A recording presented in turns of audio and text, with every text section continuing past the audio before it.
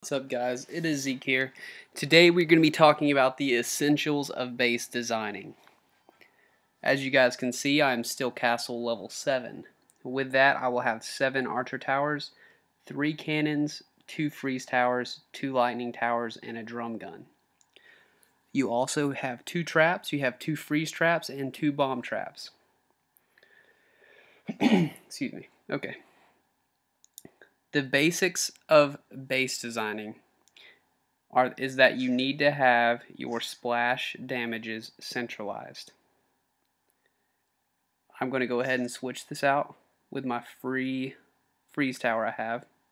That does not count. I that was with uh, the all for one thing that our guild unlocked. Anyway, for me, I use this triangular pattern with my uh, with my three cannons because it covers all of my base. All the important parts of my base at least. And uh, pretty much whatever angle they attack me at, there's usually two cannons that are firing at them.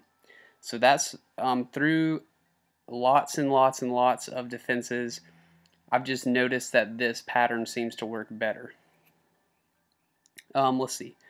Uh, another another key thing that I've noticed through just playing is that um, my freeze towers right here do a lot better than when I first initially had them um, on like opposite sides. Um, I think that the reason they're doing a lot better here is because I tend to get attacked from this side up here or this side over here and once they get inside my base, they go in through here, and then they usually um, go through this wall piece. Um, they start working on this. Uh, it allows my cannons to still be firing at them, um, but eventually once they destroy the, the drum gun, they move down here to my cannons. Uh, once they get to the cannons, you can see that they are in range of my freeze towers. And once the freeze towers start hitting them, um, I think that they start getting in range of this cannon down here. So it's it's a great um, combination of defenses.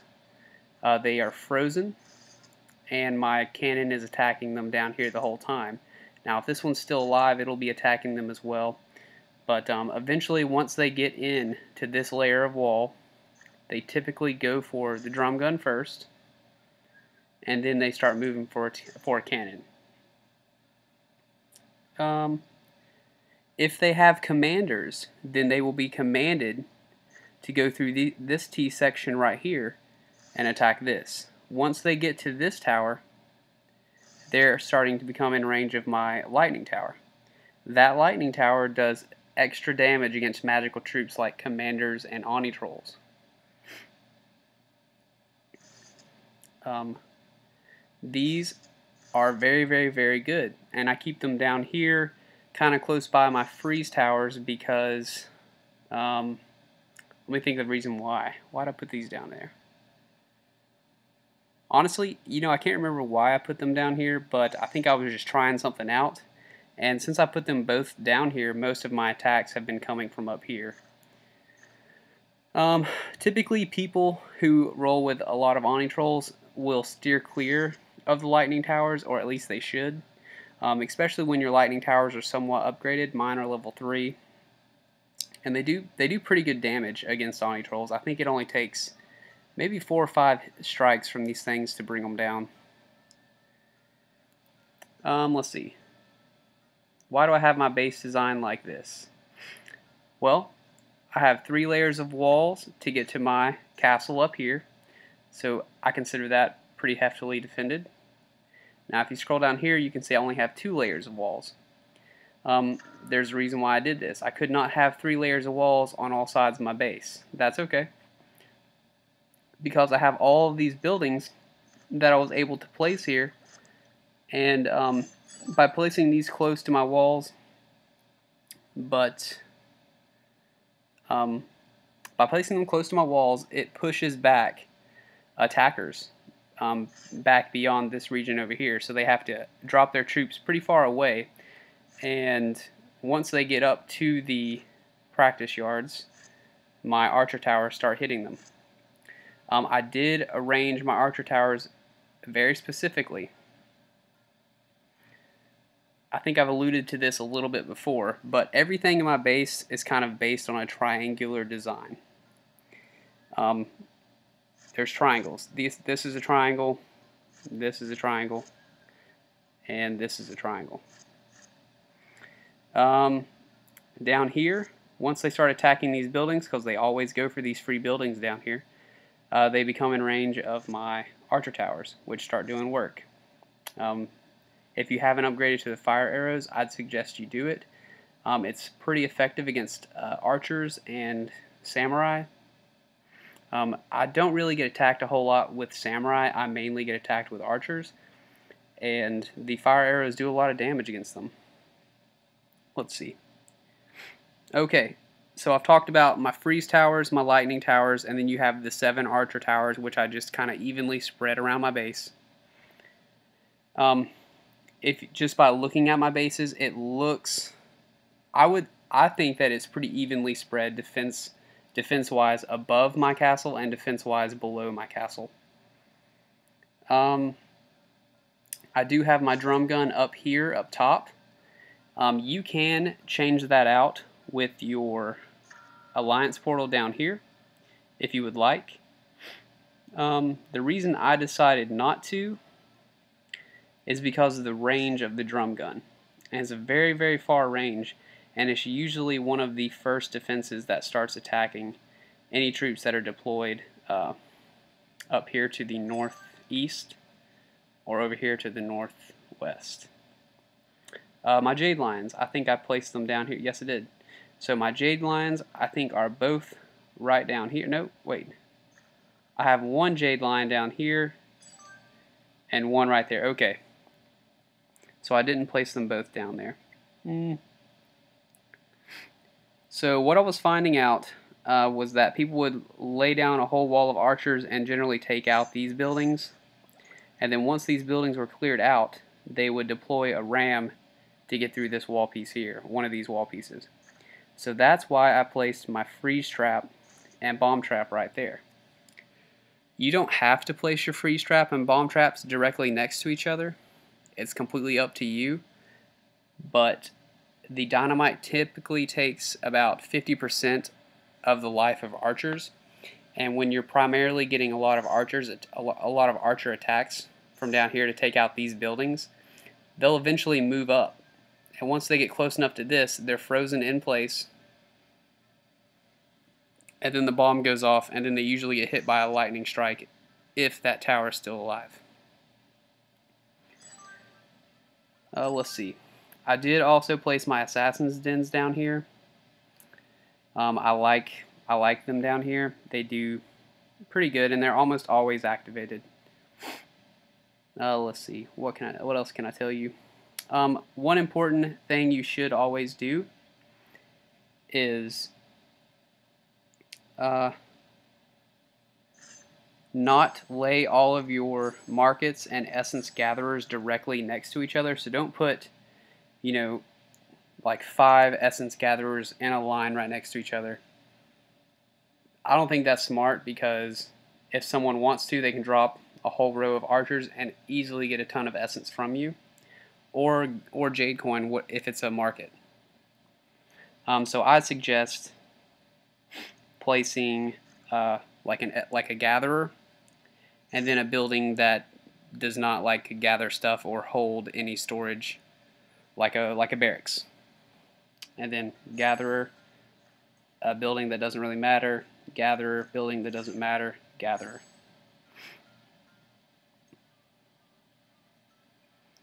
Uh, let's see what else?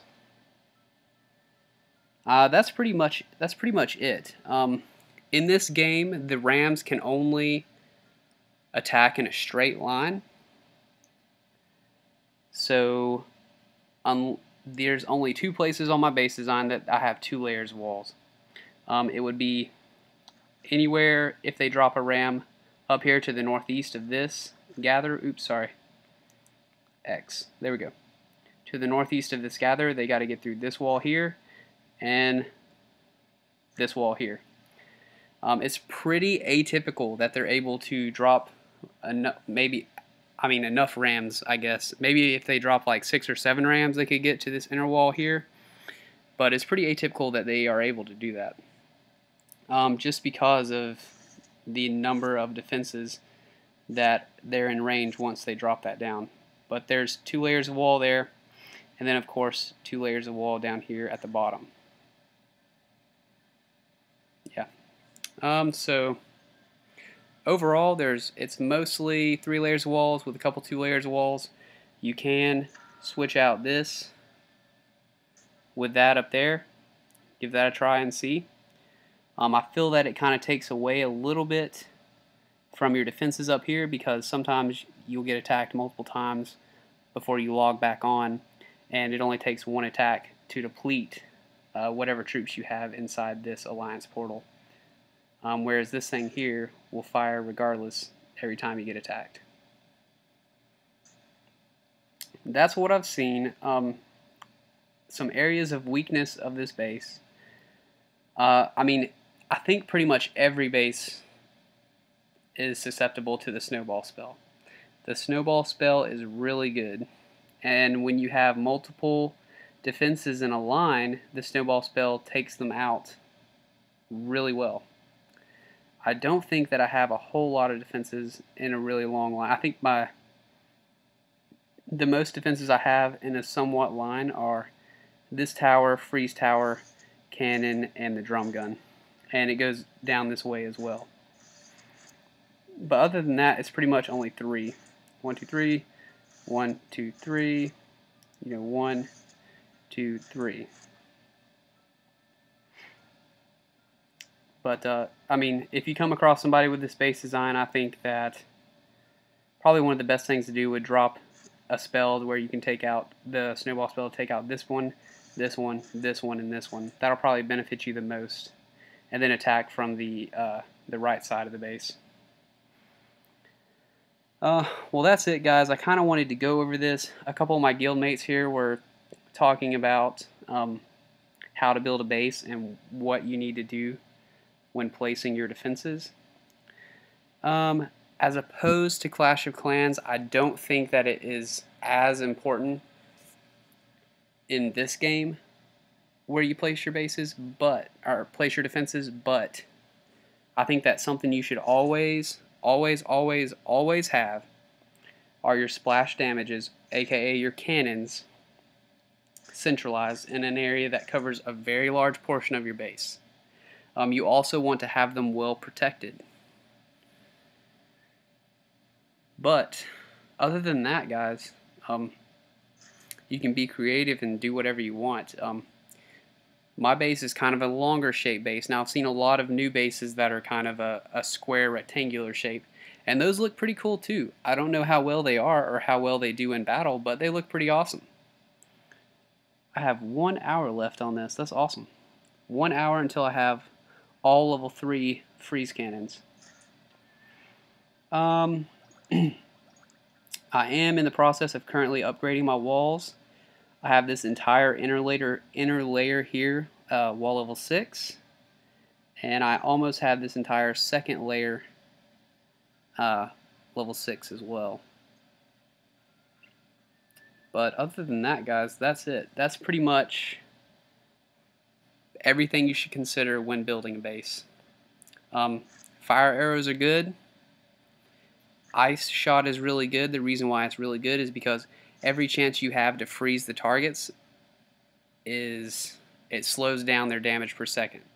So so it, the more they're frozen, the overall DPS that they're able to do is less, which means your defenses are up longer, your defenses are firing at them longer and killing them.